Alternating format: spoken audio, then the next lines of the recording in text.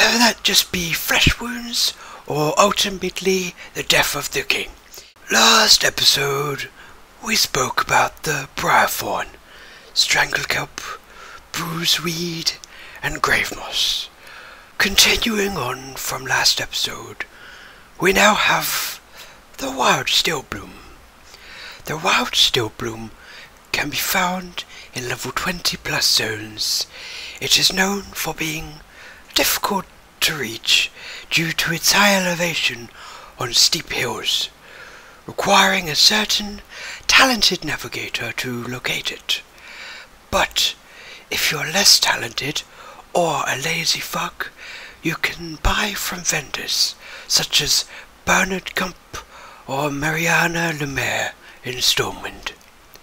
Wild Stillbloom can be mixed with Stranglekelp and a leaded vial to make an elixir of defense, increasing your armor, making you a tougher badass motherfucker.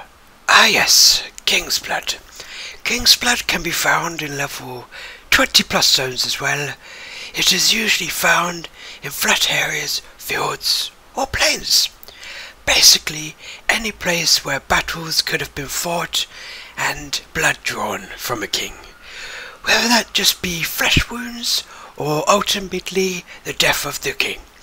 It's his blood that allows these flowers to blossom in battlefield-like areas.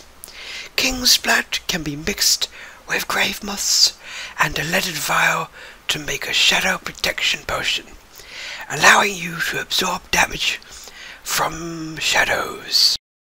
The life root is once again found in level 20 plus zones. However, this particular plant is found near water, such as edges of lakes, rivers and pools of fresh water. Life root is known for its healing capabilities as it can be mixed with bruiseweed to create a major troll's blood elixir, which regenerates health for you. The Fade Leaf.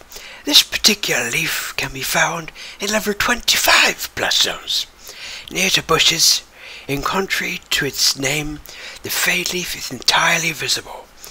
However, it has gotten its name from its invisibility capabilities.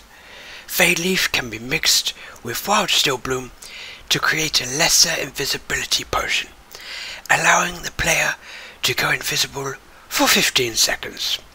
However, if you're an absolute baller and you're over level 50, this particular potion has no effect on you.